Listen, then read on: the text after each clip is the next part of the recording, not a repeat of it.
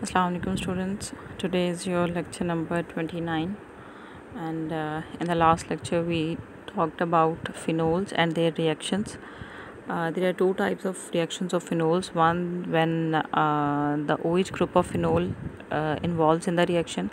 And the second type of reactions are those in which uh, the benzene part or the benzene ring of uh, phenol is involved in reactions so today we will study about those reactions in which uh, phenol uh, benzene ring of phenol is uh, involved.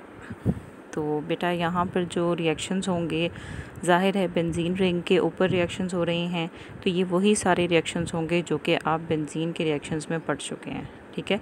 जैसे benzene के ninth chapter में जब हमने benzene के reactions पढ़े थे तो उसमें हमने पढ़ा था कि नाइट्रेशन हो सकती है बेंजीन पे यानी कि एनोटो ग्रुप के एडिशन सल्फोनेशन हो सकती है हेलोजिनेशन हो सकती है एंड सो ऑन सो वही सारे रिएक्शन यहाँ पर रिपीट हो रहे हैं।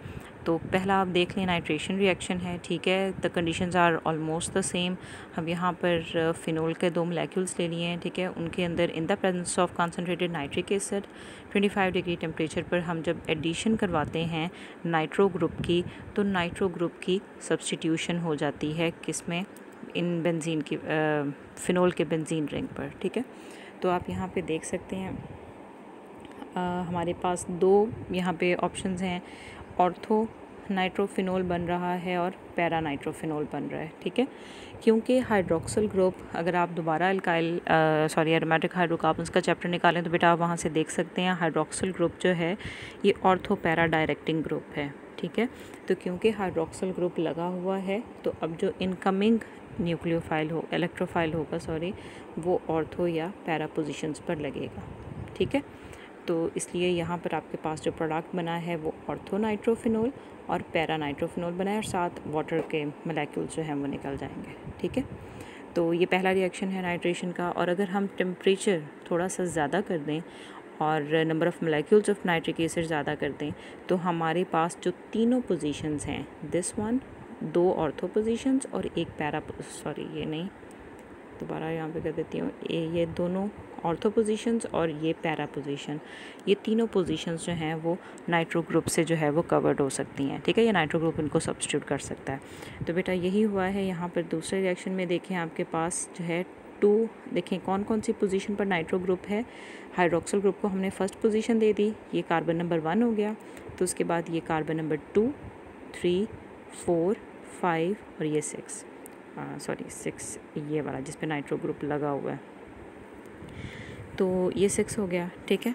तो अब अगर देखें नाइट्रो ग्रुप कौन कौन सी पोजीशन पर मौजूद है यहाँ पे? सेकंड पे फोर्थ पे और सिक्स पे। तो बेटा दैट इज़ वाई यहाँ पर इस कंपाउंड का नाम है two four six tri nitrophenol ठीक है?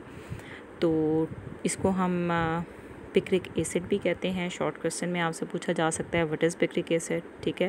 या how picric acid is formed तो उसमें आपको पता होना चाहिए कि पिक्रिक एसिड ये है और ये बनता कैसे है या फिर इसका स्ट्रक्चर क्या है। Okay so next we will uh, study about uh, in the benzene uh, reactions there was uh, sulfonation of benzene similarly here in the reactions of phenol we have sulfonation reaction ठीक है तो यहाँ पर phenol जो है वो sulphuric acid के साथ रिएक्ट करेगा रूम टेम्परेचर पे और एज अ रिज़ल्ट क्या सब्सटीट्यूट होगा बेंजीन सल्फोनिक एसिड ठीक है, हमारे पास जो है वो सल्फोनिक एसिड ग्रुप जो है वो अटैच हो जाएगा आके।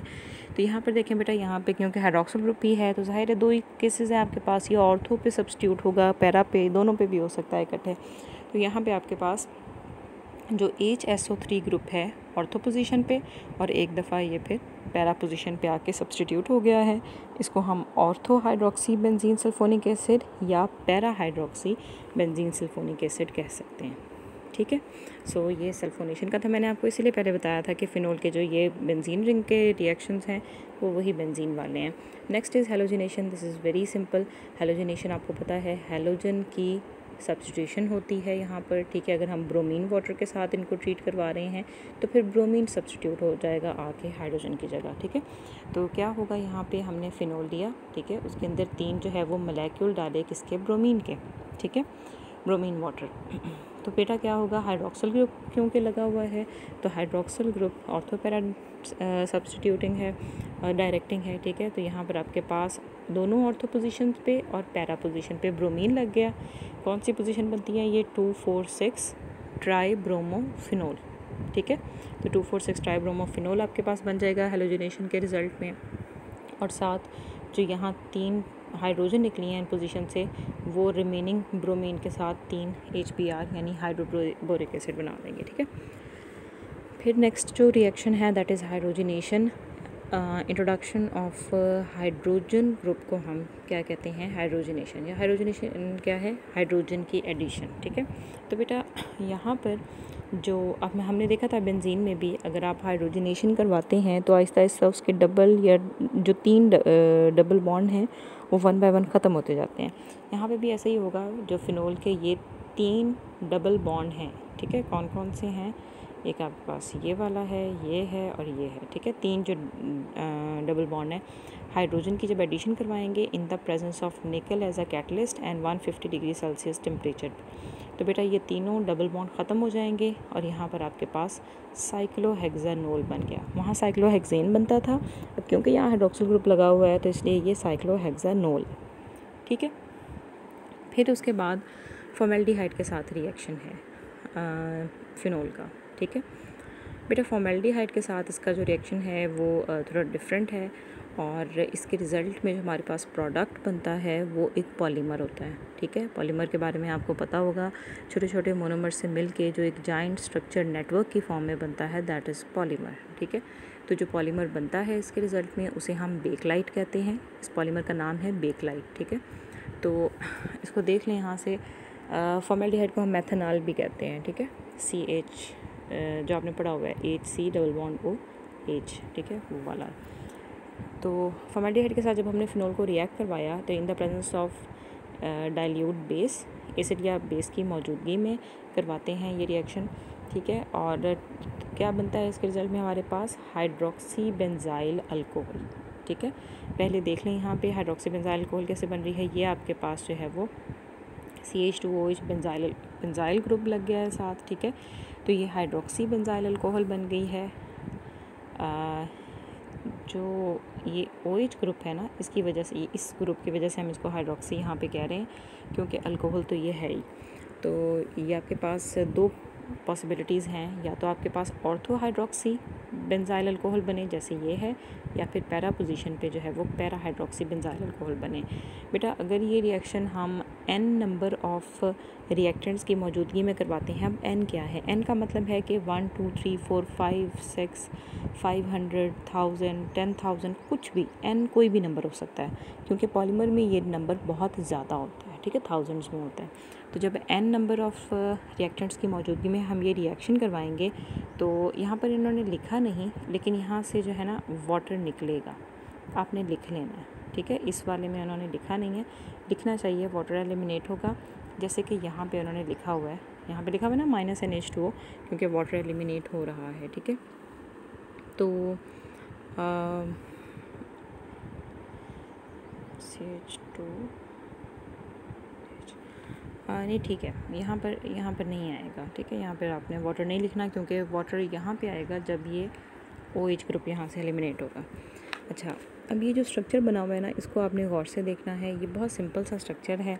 किस तरह से बना हुआ है, आपने पहले ये बना लेना है, ठीक है।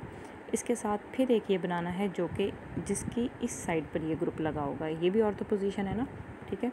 तो अब ओ एच ग्रुप यहाँ से रिमूव हो जाता है। दोनों का ओ एच ग्रुप रिमूव हो जाता है और सेंटर में ये सी एच टू के साथ बॉन्ड बनाया हुआ होता है इन्होंने, ठीक है? इसी तरह, क्योंकि पैरा पोजीशन पे भी ये ग्रुप लगा हुआ होता है तो इस तरह से पैरा पोजीशन पे भी इन्होंने सी एच टू के साथ ये लिंक होते हैं। तो ये मलेक्यूल्स आप देख रहे हैं कि ये जो चार मलेक्यूल्स यहाँ पर दिए हुए हैं, ये अपनी अपनी इन पोजीशंस के तहत, यानी ऑर्थो पोजीशंस के तहत ये क्या हैं? एक दूसरे के ऑर्थो और ये पैरा पोजीशंस के तहत ये एक दूसरे के साथ इस तरह से लिंक्ड हैं। ये स्ट्रक्चर है बेकलाइट का, इसकी एक दो दफ़ा प्रैक्टिस कीजिएगा। ये शॉर्ट क्वेश्चन में भी आता है लॉन्ग क्वेश्चन में तो वैसे भी आ ही सकता है फिनोल का ओवरऑल लेकिन शॉर्ट क्वेश्चन में भी आ जाता है व्हाट इज़ बेकलाइट या draw the structure of Bakelite ठीक है, वगैरह। या फिर what will be the reaction when phenol reacts with formaldehyde इस तरह से पूछा जा सकता है। ठीक है? तो इसके बाद ईथर्स का इंट्रोडक्शन है। ईथर्स आपके पास कौन सा ग्रुप है? आर ओ आर ग्रुप ठीक है? इनका स्ट्रक्चर भी वाटर की तरह बेंट होता है ठीक है? यहाँ पर ओ आएगा इधर दोनों आर ग्रुप आएँगे वाटर के ऊपर दो लोन पेयर होंगे ठीक है? ईथर्स बेटा दो तरह की होती हैं क्योंकि ये आर ओ आर ग्रुप है तो अगर तो ऑक्सीजन के दोनों साइड वाले जो आर ग्रुप्स हैं वो सेम हैं एग्जैक्टली exactly, तो फिर ये सिमेट्रिकल ईथर्स होंगी ठीक है? और अगर तो ये दोनों अल्काइल ग्रुप्स आर और जो दूसरे वाला आर है, वो डिफरेंट हैं तो फिर ये एसमेट्रिक या मिक्सड ईथर्स होंगी, जैसे कि यहाँ पे उन्होंने एग्जांपल में दिया हुआ है। देखें this is ethyl methyl ether और जो ऊपर वाली थी सिमेट्रिक वो डाईथाइल ईथर थी, ठीक है? So I think that's enough आप, ये आज कर लीजिएगा, ठीक है? कल आपको ईथर का जो है वो कंप्लीट करवा दूँगी। और ये चैप्टर आपका कंप्लीट हो जाएगा। इधर बहुत इजी से थे, लेकिन कल इसके साथ हम थोड़ी सी एक्सरसाइज भी देख लेंगे, अगर उसमें से कोई क्वेश्चन इंपॉर्टेंट हुआ क्वेश्चन हो तो मुझसे पूछ लीजिएगा। अल्लाह हाफ़